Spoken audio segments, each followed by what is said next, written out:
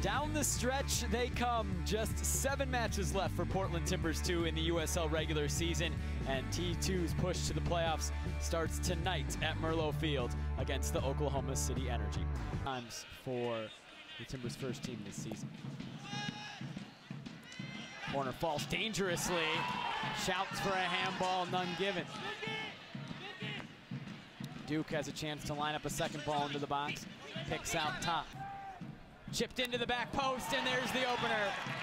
Who else? Danni König.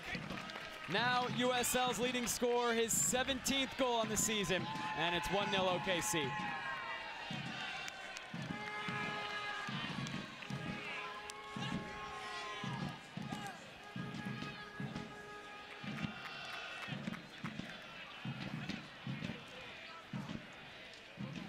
Comes back into a tie with Pittsburgh's Rob Vincent, who scored earlier tonight against Toronto FC 2 to get his 17th goal. Well, Cone Van Camperno couldn't get it through to Duke, but still there for OKC. Evans. This one does find Christian Duke. Beautiful cross, and Greig finishes for the second for OKC. Christian Duke, first time cross on a 50 yard ball. Played it right into the platter, right on a platter for Kyle Greig. His sixth goal of the season, and now a 2 0 hole for Portland Timbers 2.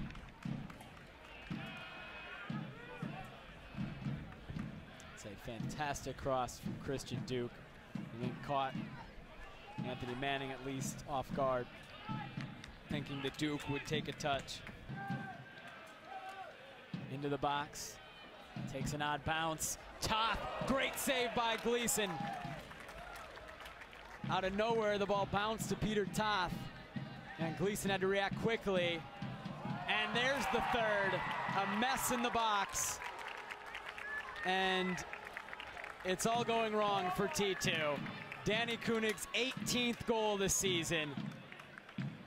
And a match that started out looking promising for T2, like either team could find the first goal, has now gone oh so wrong for the home side. 3-0 in the 31st.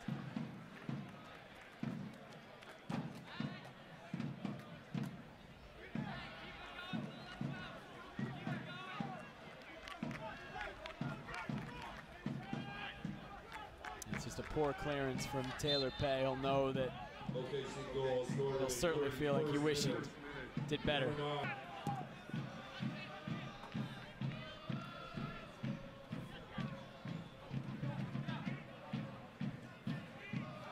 Townsend looking for Greig. He turns, shoots. Gleeson makes the save, and it's put back in. The fourth for OKC, a hat trick for Danni König. And a tough night at Merlo Field.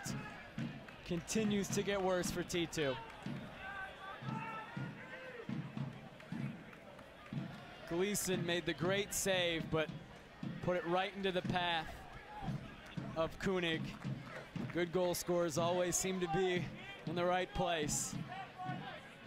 None of his finishes tonight were particularly. They're with the first team on a regular basis. So this group that's on the field right now doesn't necessarily train together every day. And it can obviously be challenging when they come to play on game day. George Fochive, a first teamer. Great comeback, and he pulls one back. George Fochive, his third goal for T2. The defensive midfielder has shown a goal-scoring touch at this level. Something to feel good about as we head to halftime. Still a 4-1 lead for OKC.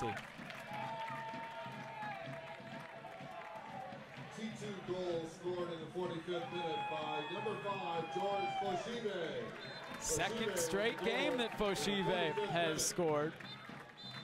And that essentially the final touch of the first half as Ekaterina Koroleva, the referee, blows for the end of the first half.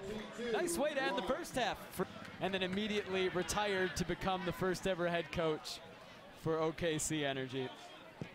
2012 MLS goalkeeper of the year and clearly having success uh, in his second career as head coach of OKC Energy. Has them in fourth place in playoff position. Fochive trying to get another one back, and he does!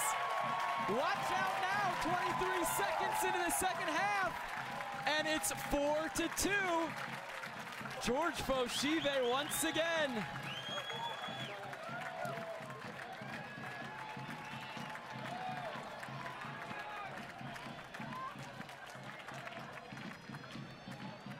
Maybe a position switch in store for George Fochive.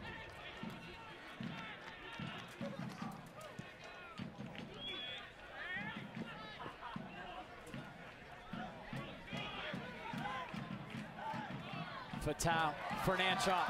Can he get behind Hedrick? Cuts it back. Now it's Seaton. A chance for his first for Portland. Michael Seaton pulls one back. T2's not out of it yet. 4-3 in the 79th.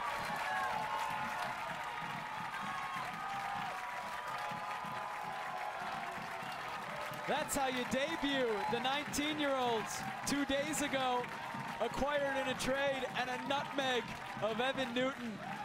A clinical finish from Michaels. What a match at Merlo Field. It was entertaining from the opening kick. Seven goals scored, the first four by OKC, the last three by T2. The comeback effort comes up short, but we we're certainly entertained.